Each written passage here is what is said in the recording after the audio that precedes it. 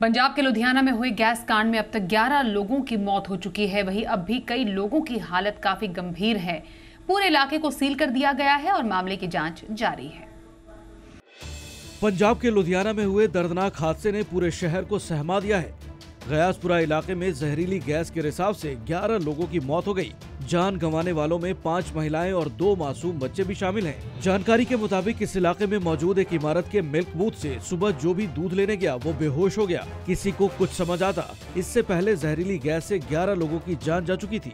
हालात बिगड़ते देख एनडीआरएफ ने गैस मास्क पहनकर मोर्चा संभाला और बेहोशी की हालत में मिले लोगों को निकालकर अस्पताल पहुँचाने में मदद की। इस दौरान पूरे इलाके को सील कर दिया गया।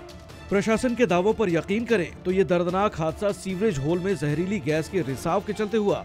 माना जा रहा है कि मेन होल में मिलने वाली मीथेन गैस के साथ किसी केमिकल का रिएक्शन हुआ। पंजाब के सीएम भगवंत मान ने गैस रिसाव की घटना पर दुख जताया है। मुख्यमंत्री ने ट्वीट कर पीड़ितों की हर मुमकिन मदद देने का भरोसा दिलाया। वहीं गृह मंत्री अमित शाह भी मामले पर नज़र रखे हुए हैं। गृह मंत्री ने ट्वीट कर गैस रिसाव की घटना पर दुख जताया।